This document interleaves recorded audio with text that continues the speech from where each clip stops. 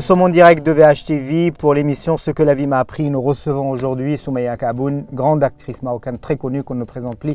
plus. Soumaya Kaboun, vous avez vécu de très très longues années à l'étranger. Vous avez vécu en France, vous avez vécu à New York, vous avez vécu à Los Angeles. Qu'est-ce que la vie vous a appris sur vous-même?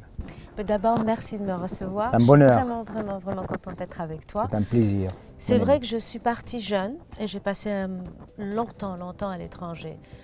Euh, c'était des expériences qui étaient importantes pour moi parce que à l'époque, au Maroc, il n'y avait pas certaines choses dont j'avais besoin moi pour m'enrichir pour ma carrière. Et donc j'ai joué un Béjar, j'ai fait une école de spectacle, j'ai été sur Broadway à New York. Toutes ces expériences m'ont appris que euh, pour notre métier, pour notre carrière, c'est très très important d'avoir une base, de s'instruire, de s'enrichir d'expériences pour pouvoir être un interprète. Absolument. Qu'est-ce que la vie vous a appris sur justement la passion du travail, euh, vous qui êtes une véritable bosseuse? Euh, La vie m'a appris que la persistance, croire en soi et vraiment la discipline et travailler, on arrive à son but. On arrive vraiment à accomplir ce qu'on veut par rapport, parce qu'en fait, j'ai aussi, enfin la vie m'a appris que comme on dit, euh, dites vos, plans à Dieu et il, pour le faire rire. Il, va rigoler. Parce qu'en fait, la vie, euh, on peut choisir d'être euh, gardien de voiture et puis un jour on devient général militaire ou président de la République. Donc on fait, nous, on fait ce qu'on peut. Et après, euh, oui, mais le oui, mais le travail paye. tu, as parlé de discipline, le travail paye. Et toi, tu as beaucoup travaillé dans ta vie, tu as dansé, tu as, été dans, tu as, tu, tu as fréquenté des gens exceptionnels qui t'ont apporté beaucoup de choses. Qu'est-ce que la vie t'a appris sur les relations avec les gens? Quand on est honnête et qu'on est direct et vrai, on est récompensé par euh, le respect des autres. Absolument. Qu'est-ce que la vie vous a appris, Somaya Kaboun, sur la famille? Et là, dans ce studio-là, nous avons et votre mari et votre fils Jazz. Donc, euh, salut les amis, on vous aime, on vous embrasse et, et vous pouvez rester jusqu'à la fin. Vous pouvez parler, hein C'est... ah, oui, la euh, famille. La famille, c'est euh, pour moi une, une, des plus grandes récompenses de la vie.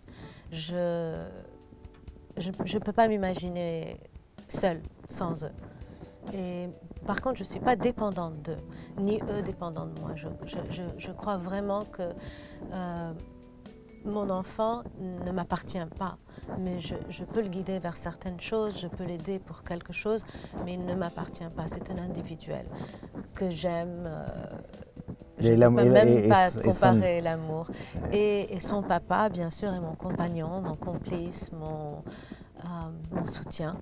Je ne suis pas dépendante de lui ni lui de moi, mais on se soutient, on se respecte et avec ça, on, forge notre chemin euh, dans une... C'est ça le secret d'une famille réussie, justement qu'il y ait de l'amour, qu'il y ait du respect, qu'il y ait énormément d'estime et qu'on essaye que chacun garde son, ses jardins secrets, son indépendance et son individualité qui est importante. Absolument. Qu'est-ce que la vie euh, vous a appris, euh, ce sommeil à Kaboun, sur les valeurs humaines? Quelles sont les plus grandes valeurs humaines pour vous? Qui sont des credos de vie euh, Pour moi, c'est euh, ne pas perdre son humanité, euh, le courage, ne pas avoir peur, être vrai, la compassion, ne pas juger les autres si on se respecte soi-même, comme j'ai dit au début aussi, c'est quand on est vrai, honnête et direct, on gagne le respect des autres. Absolument. Vous avez un rapport très particulier à la ville de Tanger. Qu'est-ce que Tanger vous a appris? Tanger m'a appris que... Et soudain, comme ça, elle s'illumine, elle est heureuse. en fait, Tanger, la, situation de Tanger fait qu'on est... Euh, on a tellement... Enfin, on est en face de l'Europe on est euh, à la pointe de l'Afrique et donc tout est ouvert pour nous. On peut euh, on regarde vers, vers le, sud ou le nord, mais tout est à notre portée. Et aussi, ça a été tellement c'est tellement un, endroit où euh, les gens transitent, restent, partent, viennent. Donc ça donne cette liberté et aussi ce mélange de culture, de religion, et je crois que c'est aussi les villes de port attire beaucoup euh, les, les, les, comme les, fous. Les fous, voilà.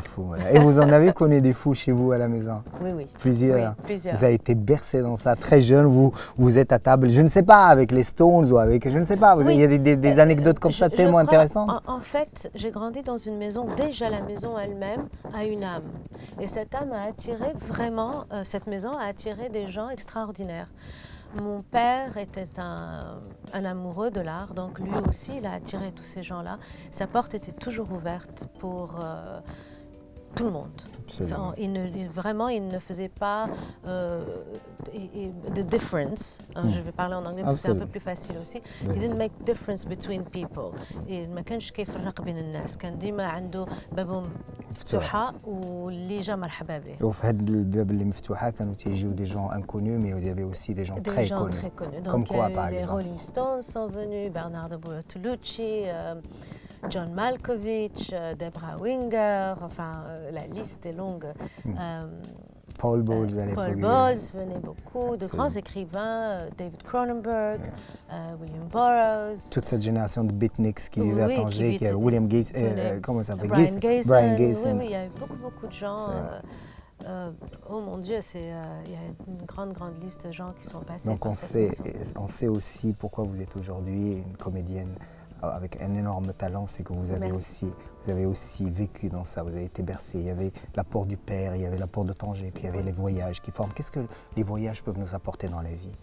Euh, Les voyages nous apportent une ouverture d'esprit, euh, nous apportent aussi la découverte d'autres cultures euh, et aussi une richesse énorme, énorme, parce que Bien sûr, on apprend les langues, bien sûr, on rencontre des gens qui peuvent nous apporter d'autres euh, opinions et qu'on peut assimiler, surtout, surtout dans notre carrière d'interprète, quand on a le privilège, parce que c'est vraiment un privilège de pouvoir voyager, de faire des rencontres, tout ça, ça nous apporte euh, voilà, cette richesse. Et puis, chaque fois qu'on a besoin de quelque chose, on va dans, ce petit bagage de, voyage et tout, on tire ce personnage, on s'inspire.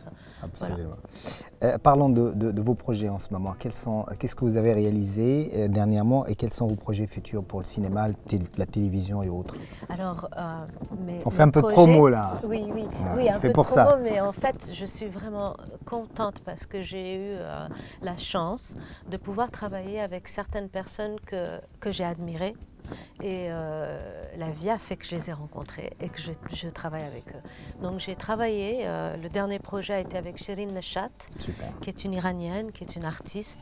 Et elle a son, son, euh, prochain film qui sort bientôt s'appelle Looking for Um Kulthum. Hmm. Donc c'est l'histoire d'Um Kulthum à travers l'œil de, de quelqu'un. J'ai joué dans son film, très joli rôle. Avant ça, j'ai fait euh, aussi un film français avec Gaël Morel mhm. et encore quelqu'un avec qui je voulais vraiment, vraiment, vraiment travailler, c'est Sandrine Bonner. Hmm. Donc j'ai eu encore cette chance, parce que l'avenir, enfin le, bah, la vie l'univers et la vie fait, le bon Dieu a fait que ça s'est réalisé et toutes mes scènes sont avec elle. Génial. Encore, c'est un personnage très fort et. Ah tu sais choisir tes rôles. Et des projets futurs? Les projets futurs, je, Inch'Allah, je travaille avec Zakia Tahiri. J'espère travailler avec Najis Najar parce que j'aime beaucoup, beaucoup ce qu'elle fait. Et aussi euh, Mohsin El-Basri. Mhm. Voilà. Eh ben, écoute, on croise les doigts pour tes projets futurs et on te dit bravo pour tes projets anciens.